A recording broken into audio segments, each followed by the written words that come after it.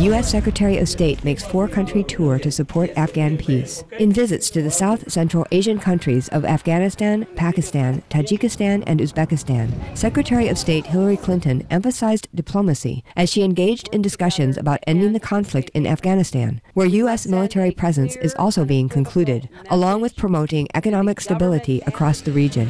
During her time in Pakistan, Secretary Clinton encouraged the government toward inviting armed groups along the Afghan border to join peace talks talks, while acknowledging that the U.S. had reached out to them in such efforts as well. In Tajikistan and Uzbekistan, she promoted an initiative to stimulate trade as she highlighted Afghanistan's potential to become a crossroads of peaceful commerce for the countries of South Central Asia. Secretary Clinton also called upon Tajik and Uzbek leaders to support democratic principles such as freedom of religion and human rights to benefit fellow citizens' lives. The changes that I have seen in Afghanistan are very encouraging, but they must be made permanent.